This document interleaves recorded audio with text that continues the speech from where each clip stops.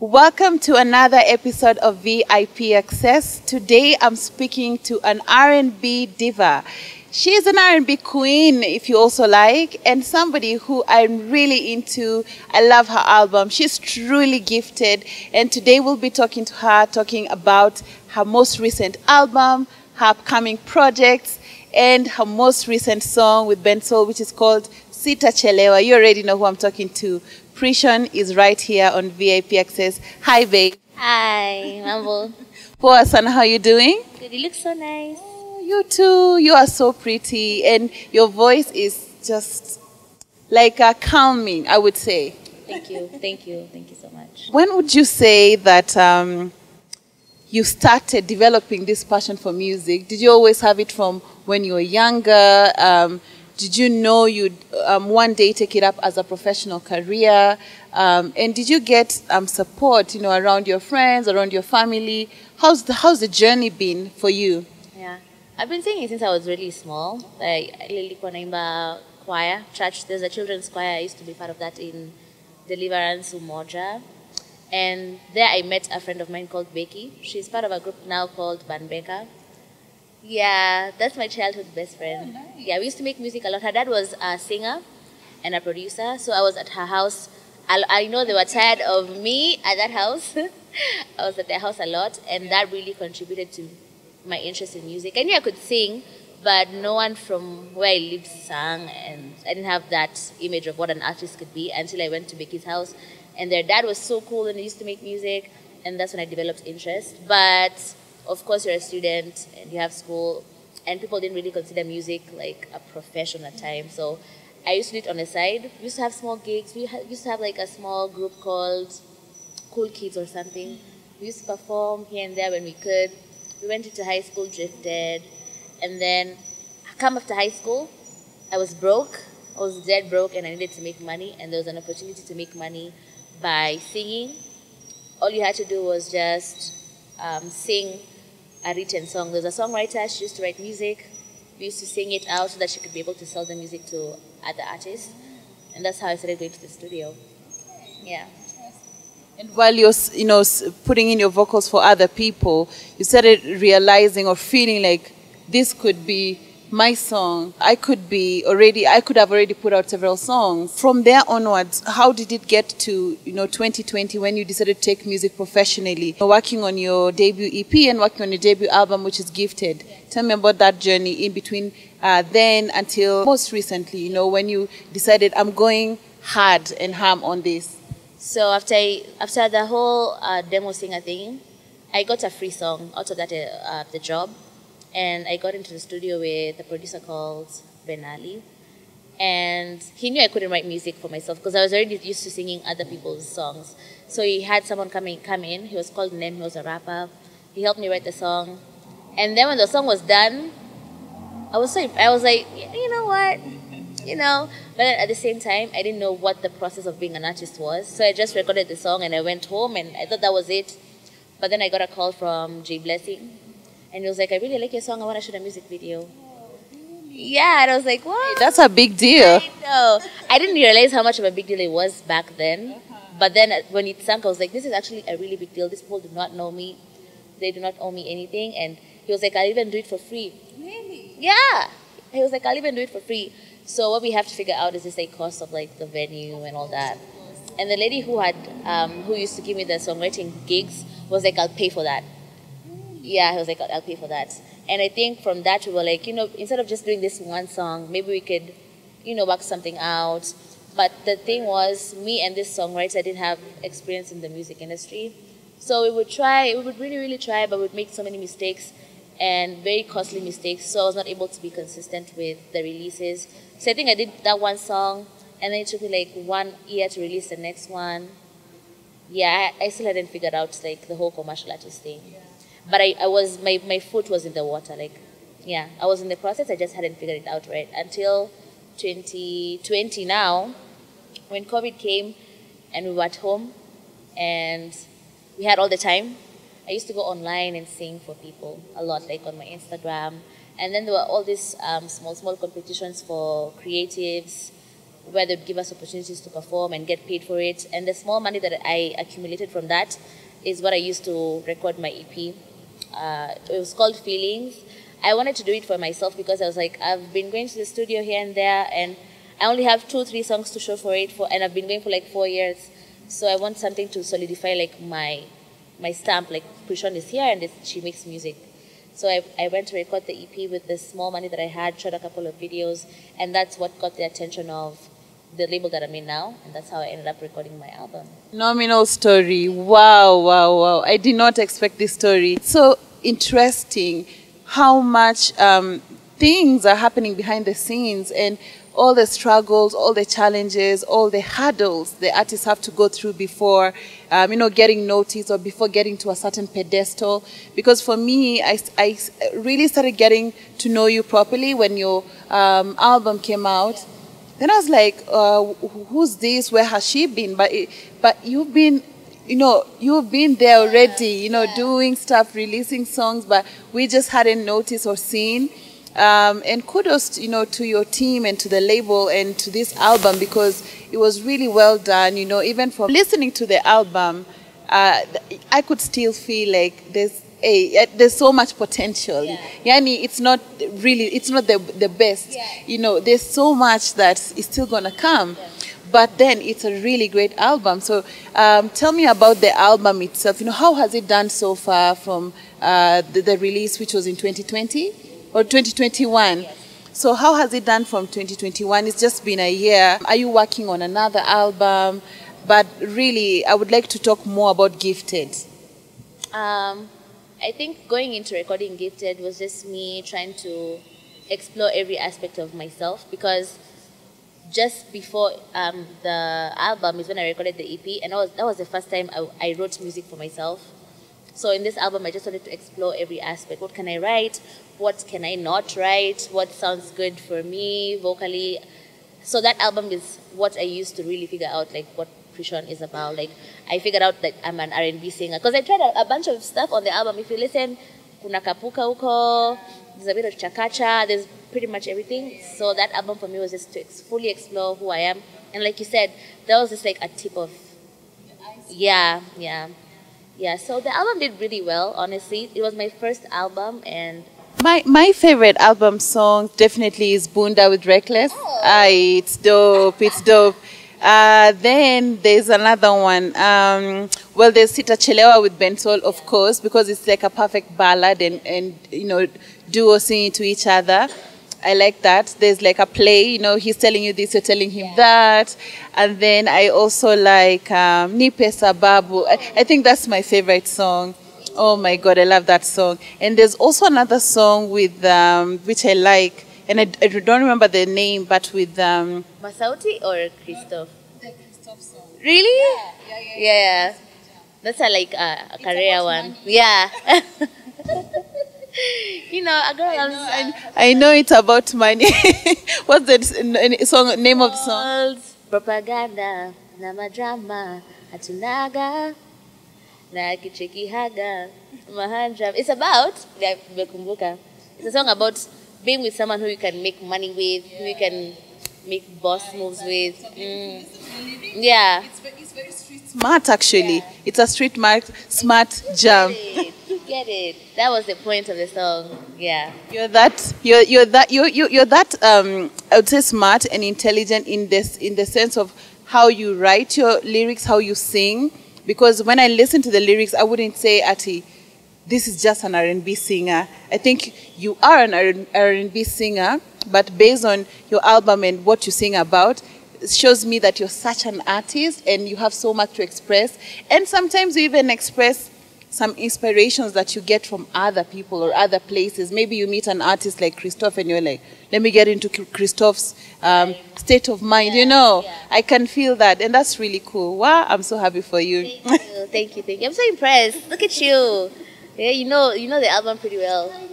Thank you so much. So tell me about working with Benso, Sita Chelewa. It's such a fun favorite. You know, I was at a concert where you're performing and everybody was like, oh, yeah. Like, is there going to be another song with him or are you going to do another song like with another male artist? Because it's, it's, you, you kind of uh, fit so well in those sort of collaborations. even even not just like those who sing like Ben Soul, but even the rappers. I like that you started, you know, you put those in your album.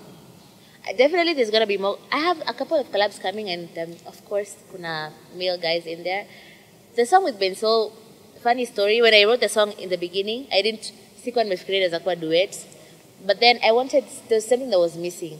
There was just something that was missing, and Ben came to studio, and it just became perfect. Ben is so talented.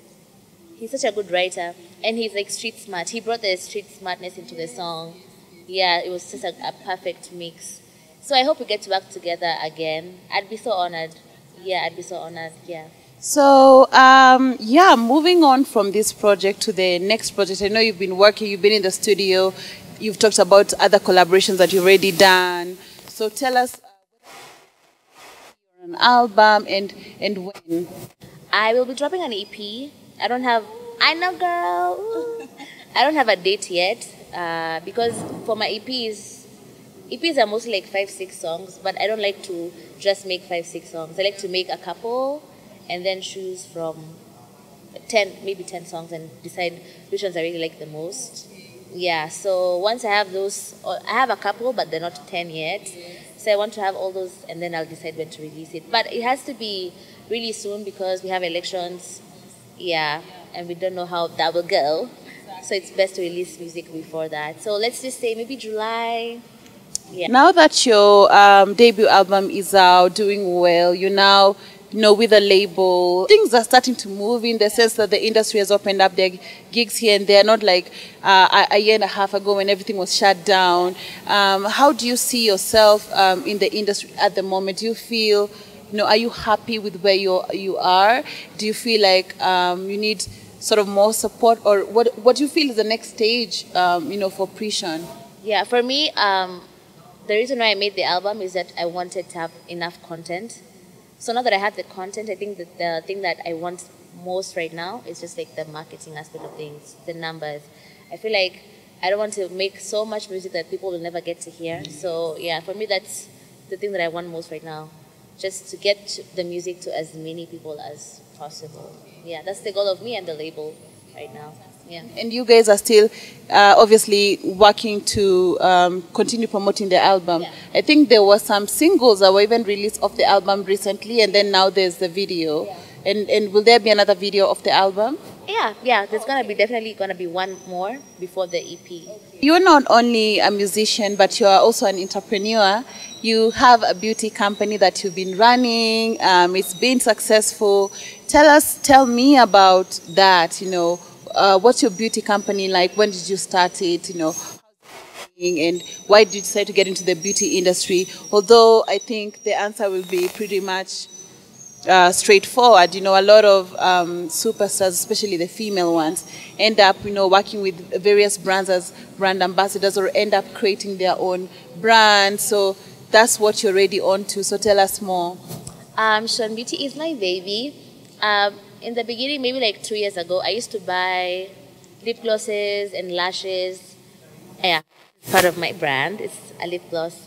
Shon Beauty made for you. Nice. Uh-huh. I am obsessed with lip gloss. I am a lip gloss girl, and I like a nice lash. And most of the time, I never get what I want, and it used to really frustrate me. And also, being an artist has really taught me how to learn how to do makeup on the go. There's times where I'm on set and the makeup artist doesn't show up, and I have to figure things out. I've learned so much the past couple of years, and I just felt like it was time for me to have something that's my own that I could perfect the way I know it should be.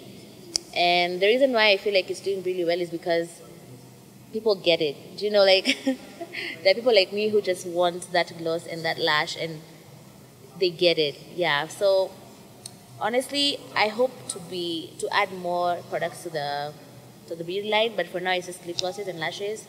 I wanted to see how that goes and test out the market, and then before I can expand to other things. But so far so good. I'm really really grateful. Yeah, my dream came true. I wanted to be 25 with a business, and I'm happy. I'm happy. Oh my God, you're so young. You're 25. You've done so much. I, sometimes I feel like I, I, ha- I could have done so much by now. I don't know if I was those teenage girls who used to think by 25 I'll have this, I'll have that. but the reality is, No, no, no, no. So far, you're doing quite good for yourself, um, and you have to remember that and give yourself a pat on the back. You know, not every other 25-year-old has a you know beauty company, albums out. I don't know what. Because I remember even when I, I was 25, I kind of knew myself where I was going, but I was still trying to figure out stuff. Yeah, so I hadn't even like started my own business, you know. So good job, girl. sometimes I think everyone is just really hard on themselves. Yeah, yeah. Are you gonna be collaborating with Mutoria anytime soon? Victoria is such a superstar. He is right. Here we're going to pin him down and make him work with me. Fan of a Fan. Hmm? Maybe, maybe, maybe you and uh, Mutoria can do a Chris Brown and Tyga because they have the fun, Fan of a Fan album series. I mean, why not? yeah, I'm in. As long as he's in, I'm in. Yeah, thank you for this platform because now Motoria is here. no, I'm just kidding. Motoria is really good and I think we're going to make music. I hope. I'd like to know about uh, Nipe Sababu. I feel like, well, that's my favorite song. But then I feel like that's where like you sang your heart out, and it's also wonderful. Like when I heard you perform it at the concert, you know, it sounded just like the album, and you you, you were doing all the runs. I feel like that's the song like that makes you, you know, be you. So tell me about this specific song. Uh, Nipe Sababu was actually inspired by a famous couple. They were going through a hard time and when you're going through a hard time Who who are these? Who are these? I'm, I'm sure the, you'll figure it out by the end of the interview. When you're going through a hard time publicly, Wait, is it Wahu Nameless? no, yeah, no, I'm not gonna say. But when you're going through a hard time publicly, it's twice as hard. So I just tried to put myself in their shoes, where give me a reason why I should still stay despite all this embarrassment. You know, it's public, it's very out there. So just give me a reason why I should stay. Yeah, that was the purpose of the song. And when I when I was writing the song, in my head I was like, nilikuwa najenga kama third party, but as I was writing it, I realized that I've been in situations where I wanted assurance, like tell me why I should stay in this situation any much longer. Yeah, so that was that really. I didn't expect myself to write kwanza Kiswahili. I'm not really good at writing in Swa, but that really pushed me, and I'm I'm I'm happy it came out that way. See yourself, you know, from being in the studio singing songs that were written for other people to being your own really dope songwriter at only 25. Can you believe it? Which message would you like to share out to the fans, everybody watching, my fans who are pre-shown, wale wamekuwa yani wana support to, you know, jua, good vibes, and even those who were not fans recently but have been very supportive, you know, Kina, the, the likes of Jay Blessing, the lady who, you know, paid for the space uh, to shoot your video. There are those people who've been down with you even before we got to know your name. You know, what would you like to tell them? Let me start with those people, Akina J. Blessing, Susan Munyoki, the people really stood with me when no one knew who I was. The hardest thing about standing with someone who no one knows is that you have to prove to, like, see, do you see? That was their work. And I really appreciate that because sometimes when I was in those moments, I'd doubt myself. And then when I'd just be like, for these people to invest their time and their resources into me, it means there's something there. And sometimes I wouldn't see it, but in moments of realizations like that made me just keep going. So I'm really, really grateful for that. And just like the financial support, being an artist is really expensive, really expensive. And for you to be consistent, you, you just have to have a really good team. So I'm really, really grateful for my team. To my fans, I can't believe I can say that now. I have fans. Of course, uh, me, me being one of them. My fans appreciate tunaongelesha. kama kuna watu wenye nawapenda ni fans wangu. I feel like i get the most support from the strangers. But wenye hata wanijui i don't know what i did to deserve it but i'm really really grateful. And i just hope that i continue to entertain you and inspire you with great new music. I do it for you. I, genuinely i just do it for you. And to my family and to my friends Thank you for holding me down. When no one knew who I was, you're the people who used to come to my shows and cheer me on. You guys would cheer so loud, everyone would be like, Kwani huu ni nani? You know? I'm so grateful. Yeah, keep it Sean, keep it Sean, keep it Sean. Thank you so much, um, Pryshon. It's been such an honor to meet you. I mean, to meet the person who I hear and that I love their music, then to meet them and find that they're really, like, really sweet and just a nice individual and just really hardworking as well. So it's it's a really an honor. Thank you so much for this interview.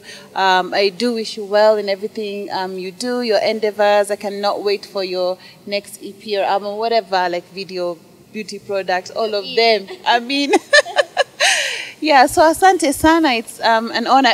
Everybody, um, Gifted, the album is streaming worldwide. You can uh, reach out to Pryshon through her social media or check out her album everywhere. Make sure you buy the music. Do not steal the music. You have to buy the music. Capitalize it on that. Buy the music. Asante Sana, babe.